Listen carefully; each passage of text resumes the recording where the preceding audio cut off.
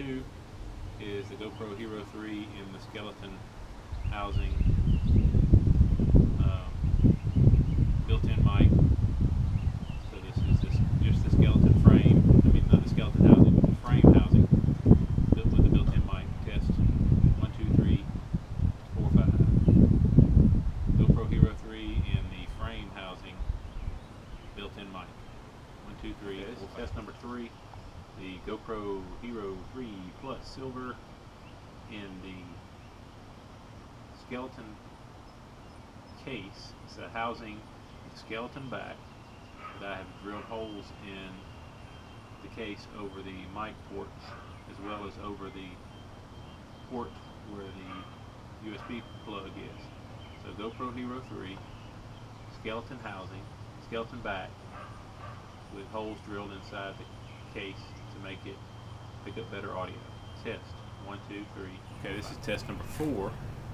This is the GoPro Hero 3 Plus Silver in the same skeleton housing uh, as test number three with uh, holes drilled in the housing.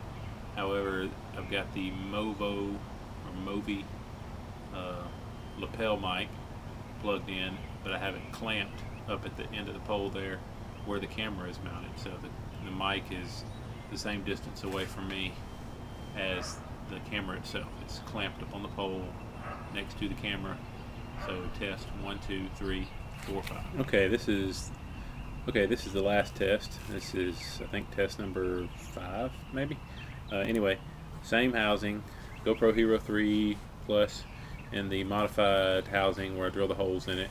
But I've got the Movo lapel mic plugged in, and I've got the cable run down, and the mic is actually uh, on the middle section of my trekking pole here.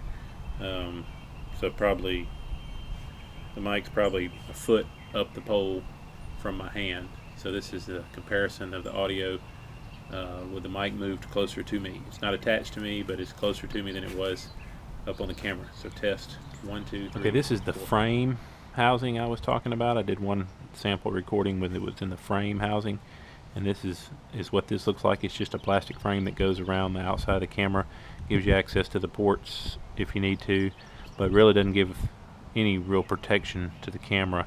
Uh, the one I picked up came with this little lens cover that you can slip over the lens if you're going to use it um, just to keep it from getting scratched or whatever. Uh, then it also came with a little rubber uh, cap that you could put over the lens itself you have to take that off and then you can put this rubber cap on it to kind of protect it when you have it stored. Uh, this one works okay. I'm just not real crazy about the fact that it doesn't really protect the camera very well. So I guess it'd probably be fine if you were only using this indoors. But uh, as far as me taking this on the trail, I probably won't because it's, uh, in my opinion, doesn't give a whole lot of protection. So that's my thoughts on the on the frame housing. All right, so these are the items I was using during that test.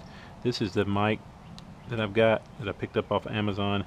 It's a Movo, M-O-V-O lapel mic. It comes with the adapter here and then the lapel mic itself that plugs in. The adapter plugs into the camera on the side, same place you would plug in your USB for uh, charging or downloading your pictures or movies. Um, it's got about four feet of wire and then it's got the little lapel here with a clip. Um, and then this is the this is a housing this is not the original housing. Uh, you know the original waterproof housing is that comes with Hero, uh, Hero 3 Plus Silver is this one here. But this is one I picked up on eBay. I think I paid like 12 bucks. I think it's the older style Hero 3 housing. So what I did is I drilled a hole there and then right here on top. And those two are over the little three hole mic uh, areas on the camera itself. And then I also drilled a hole here on the side. I actually drilled it and then I had to open it up with my Dremel tool. And this one lines up with the USB port so I can plug this mic in while it's in this housing and the whole reason I did that was it you know granted once I put all these holes in it and put the skeleton back on it it's no longer waterproof but at least protects the camera keeps it from getting beat up if I were to drop it. Um, you know, the camera itself is still protected. I just have to be conscious that um, it's not waterproof. So my plan is to, when I'm hiking and stuff, I'll keep it in this housing most of the time for for everything because the mic should pick up pretty good.